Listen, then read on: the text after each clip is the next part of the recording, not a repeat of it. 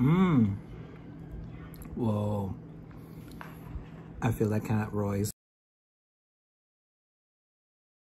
Hey everyone, it's Thomas.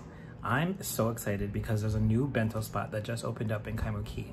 It's called Higoto, which means every day in Japanese.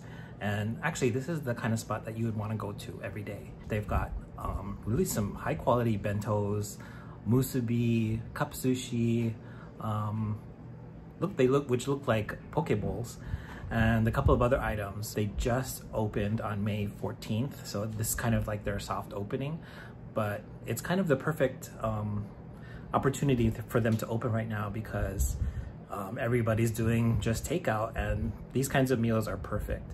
So i got the chicken karaage bento um, for 9.50 and i also got the miso yaki or miso butterfish bento for 13.50.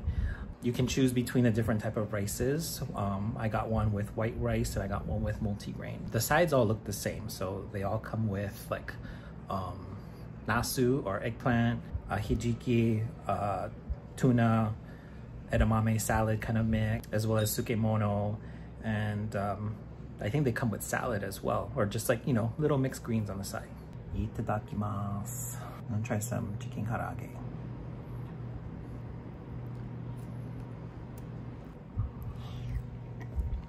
Mm. It's got like a gingery, gingery sauce. I like it. I always judge Japanese restaurants kind of by their rice, you know.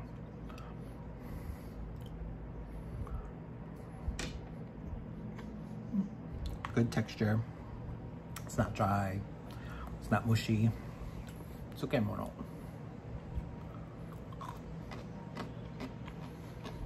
Let's try some miso butterfish.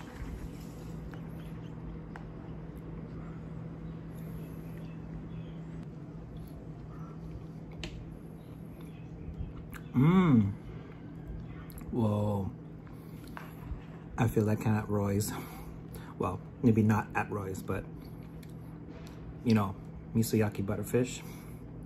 Tastes pretty good. And this is um multi-grain rice, so it's got like different kinds of whole grains in it. I think it's okay. I think they could have done better.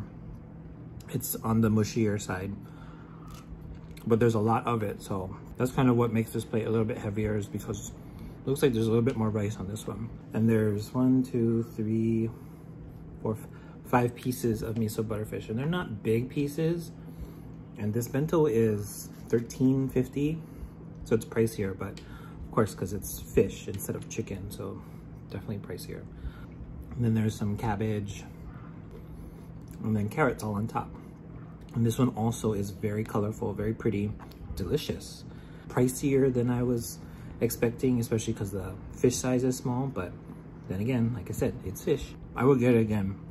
It's delicious. I'll probably get for get the white rice version, but I like the miso butterfish. So my final thoughts on Higoto in Kaimuki are that the, they've got some really nice um, premium looking and tasting bentos. And um, of the two that I tried, the miso butterfish was actually really good. Um, not to say that the chicken karaage wasn't either, but if I'm going back again, um, definitely want to get another one of the miso butterfish. But I also want to try the musubi and the cup sushi. Um, the options here are uh, pretty extensive for a business that just opened. It's the perfect time to try bento now because everything is takeout.